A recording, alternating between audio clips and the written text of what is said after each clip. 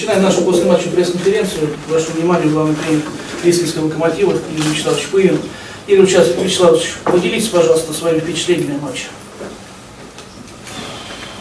Ну, мы начали не очень так активно в плане перестроения. И у нас большие проблемы были со стороны левых защитников. То есть необоснованно очень много было потерь, вследствие чего соперник почувствовал и начал нагнетать. Ну, то есть на простые ситуации, где можно было мячом спокойно владеть, мы допускали брак. Вот. Ну и два нападающих, которые играли за болотом Бирюков цеплялись неплохо за мячи, взаимодействовали, вследствие этого, наверное, и оказывали давление. Вот, ну, хотя потом немножко продышались, и инициатива так переходила то к одной, то к одной команде, то другой.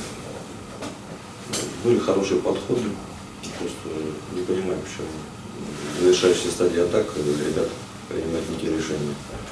Убегали трое против двоих, необоснованно раньше передача была вперед пошла и Чекунов. Хорошо поменялись, поменяли направление атаки. Входит в штрафную, без поворота.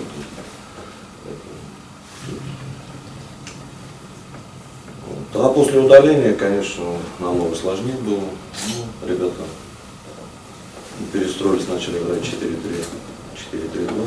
Считаю, правильно сделали. Очень активно сыграли в средней линии. Ну, конечно, преимущество одного игрока для такой квалифицированной команды. Это существенно задел. Судейка судейка мог, конечно, желтую карточку вторую не давать. Только из одного, из одной причины. Причина одна только. Нарушение это было. Ну, сразу же автоматом идет она красная. Да, это был момент, если ты судишь так, ну, суди до конца срыв перспективной атаки на фате, желтая карточка не дается. Словами что-то объясню. Ну, словами здесь объясню, подойди объясню. Ну это повлияло, я считаю. Второй тайм, конечно, был бы с нашей стороны более, более агрессивный, наверное, и мы что-то создали. А так,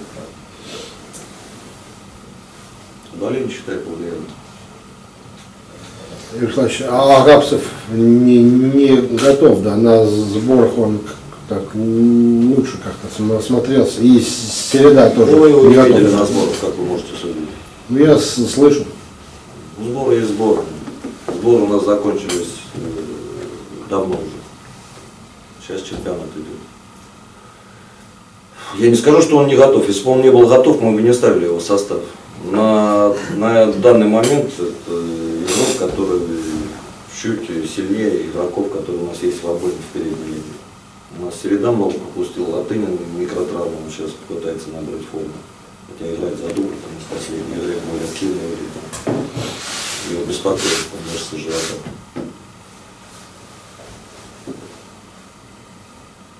Сборы, что сборы? Сейчас чемпионат идет, уже достаточно количество игр чтобы набрать оптимальную форму. Он занятия не пропускает, он тренируется. Не хватает где-то вот и игры именно такой, чтобы взять игру на себя, создать. Нападающий должен более активно действовать. Еще есть вопрос? Касается арабцев. А то, что мы сегодня хотели, это я возвращаюсь к тому, что психнули, не психнули. Мы вышли заряженными на борьбу, просто не все получилось. Конечно, удалили 30 минуту. Пропустили гол, но это гол вследствие грубейших ошибок нашей обороны. Розыгрыш мяча идет передача на дальнюю штангу, а Линда стоит с метра. Там должен быть выход, организованный выход, где центральные защитники не выдвигают. Грубейшая ошибка. И спокойно головой ну, парень молодой, поэтому свойственно ему ошибаться, хотя те игры, которые он провел, достаточно на неплохом уровне. И все не деньги. Не только от него зависит, от, от всех игроков зависит. Продолжаем пресс-конференцию. Павел Пателевич Гусин, главный тренер футбольного клуба «Факел». К вашему вниманию. Павел Пателевич, как обычно, первые впечатления от игры? Хорошая, хорошая игра. Хорошая игра. А, доволен результатом. Каких-то моментах в организации есть вопросы в организации игрокам средней части поля. И много, конечно, вопросов по реализации. Те моменты, которые мы создавали в первом тайме, во втором, выходы, быстрые атаки с численным превосходством. И вот здесь вопросы с последней передачей, с принятием решения и с исполнительским мастерством, вот именно в завершающей фазе атаки.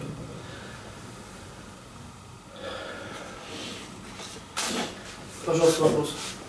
Вот интересно, немножко сложилось такое, ну, не только у меня, сидели, общались между собой. Сложилось такое впечатление, что сегодня как-то все стремились забить, друг у друга отнимали мячи и попадали друг другу в спины. Ну, Переживали это, это вот то, о чем я сказал, что э, принятие решения, да, и, наверное, здесь э, где-то э, эмоции превозла- э, ну, преобладали над разумом в принятии вот именно решения в концовке.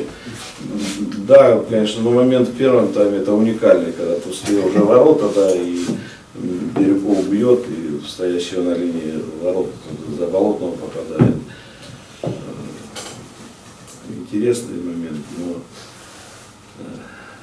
э, это с этим связано. Связано с тем, что стремление быстрее, быстрее забить второй мяч и снять все вопросы. А все, спешка не всегда она хороша, и здесь нужно было в плане организации, то, что я сказал, что нужно было все-таки, как бы там ни было, мы имели лишнего игрока, это не хоккей, я прекрасно понимаю.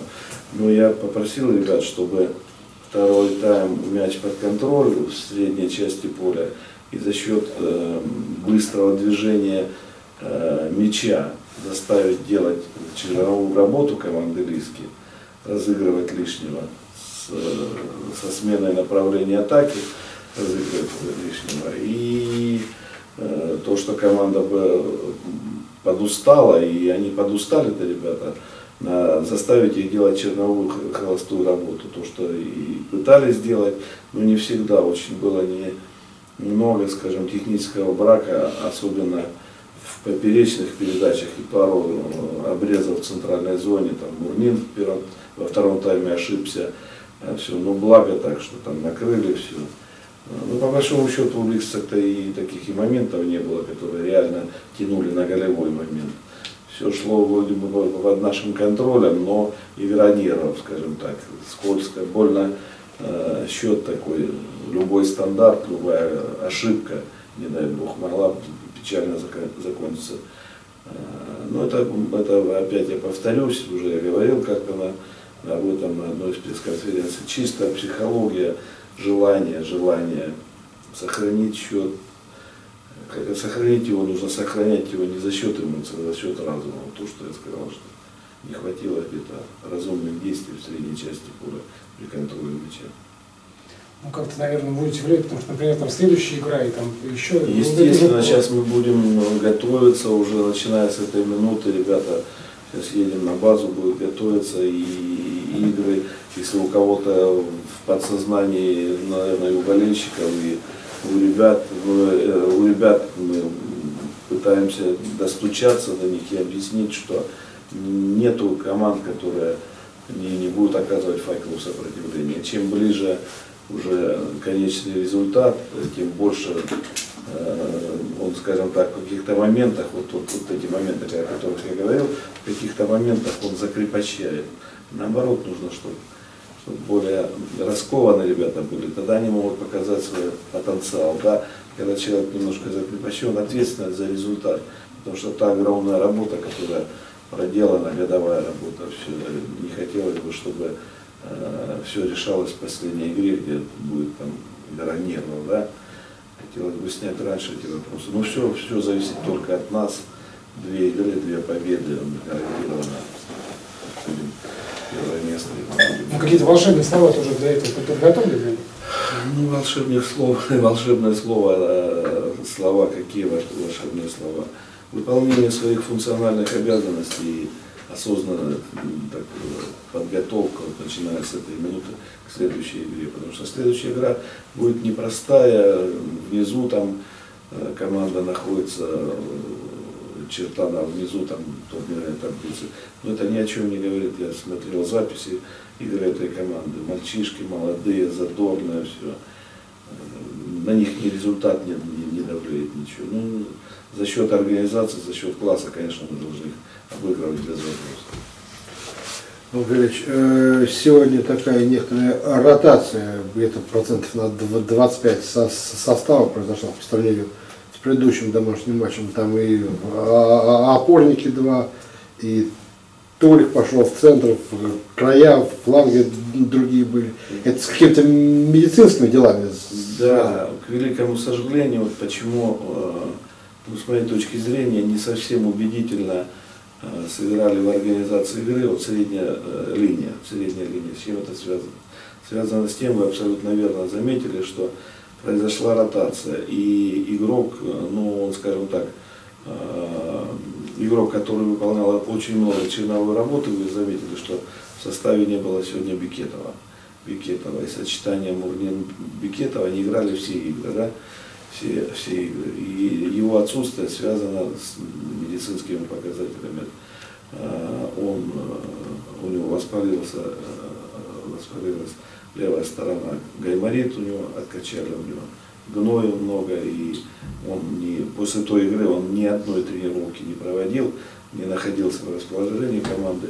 И здесь были опасения, они, собственно, в какой-то степени и э, ну, оправдали, что в организации здесь мы потеряем. Почему? Потому что Бикетов один из ключевых игроков, и здесь средняя линия, от него очень много, большой объем работы, черновой работы он выполняет очень много, в отборе участвует, все.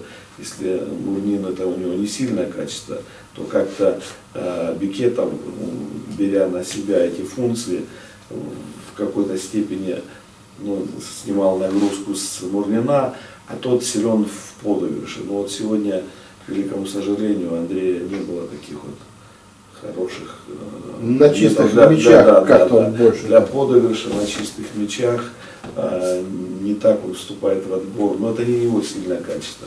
И здесь мы потеряли. И здесь мы потеряли, мы, э, больше у нас вариантов не было.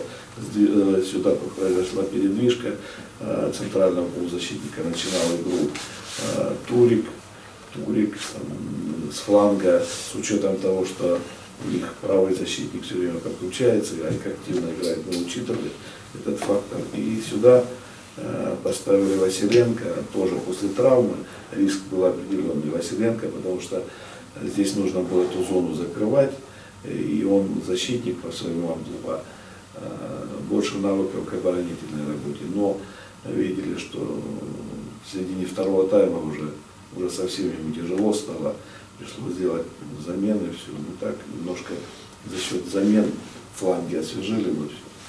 А так, э, с- только с этим связано. Плюс у нас выбыл э, Паша Могилевский, тоже начал тренироваться, все, надеемся, что уже к следующей игре будет подойдет. У Жиляева пока не рискует. Жиляев Коля готовится к игре, опять же, готовился к игре, все. Но пока, пока ситуация такова, что э, у него нет чувства уверенности, чувства уверенности а, и небольшое чувство страха после этой травмы, да, и мы пока не, не рискуем его бросать сразу первые, с первых минут, все, а по такой игре, когда счет скользкий, тоже рискованно, лучше выйдет ну, здоровый игрок. Коля готовится и надеюсь, что в последней игре и до этого, если будет возможность, конечно, он будет в составе. Дубровин. Как? Ну, Дубровин, Дубровина как не было, так Что и нет. По сей день в распоряжении команды его нет. Ну, он понятно. находится в Москве, и я говорил уже, что для него чемпионат закончился. Будем смотреть, как дальше все. Пока больно большие сроки восстановления уже. Он, все сборы пропустил. То есть он может даже не успеть э, к Весь старту подготовительный нового. Ну, пока, пока, пока врачи не, не, не разрешают ему, пока, пока нету его, нету распоряжения. Но про- прогноз такой, что пока он тренироваться не может. И последний а- от меня. Айшин все тусклее и тусклее выглядит с каждым матчем. Такое ощущение, что э, пацанчик звездочку словил, так щечки надувает. Ну, я вот бы так не вот. сказал, что Ну, вот звездочку. со Ну, стороны вот такое Но ощущение. я скажу, что э, много, много решений, которые он принимает на поле, а, скажем так, ну не совсем правильно. С чем это связано? Будем разбираться. Будем разбираться. Возможно, что он почувствовал уже себя игроком основного состава, да? Основного состава. Но пока к нему очень много вопросов. Есть потенциал, есть желание огромное, но пока той игры, которую мы хотели бы, и те качества, которые у Вальшина есть, дриблинг, ск- скорость, он пока использует их не в полную меру. Есть моменты, над которыми, мы будем работать с ним, вот именно в индивидуальном порядке.